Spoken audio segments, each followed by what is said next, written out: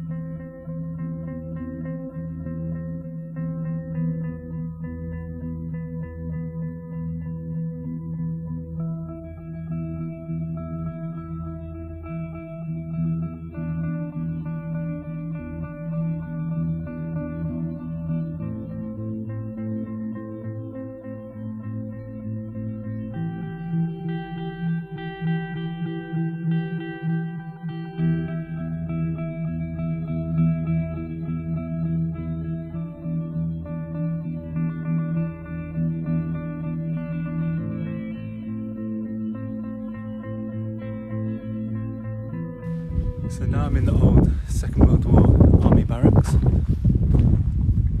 and it's been disused as an army barracks since the 1960s and as you can see now it's just full of sheep shit.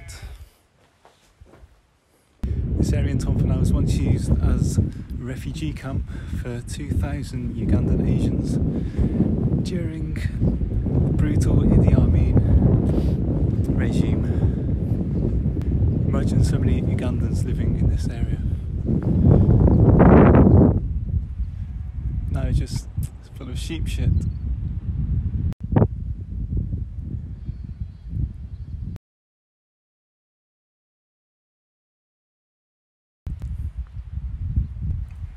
I'm now walking through the old military toilet and you can still smell what it was what it could have been like in the Second World War.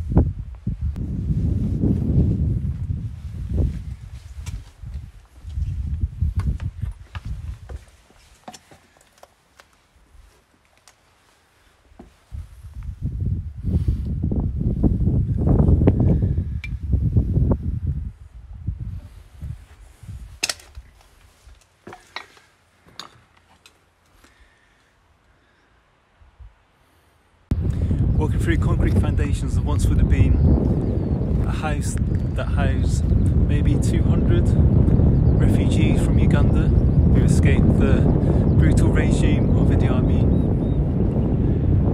in the 1970s.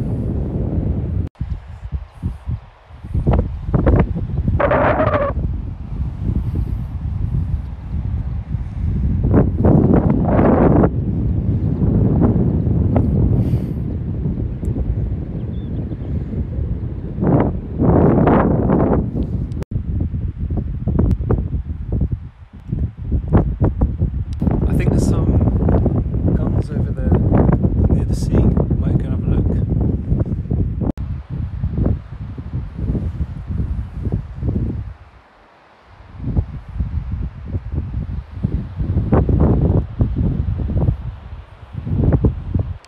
See on the ground behind me, there's little metal things sticking out the ground. That's where the gun turrets used to be, pointing across the sea, um, waiting for attack from Ireland.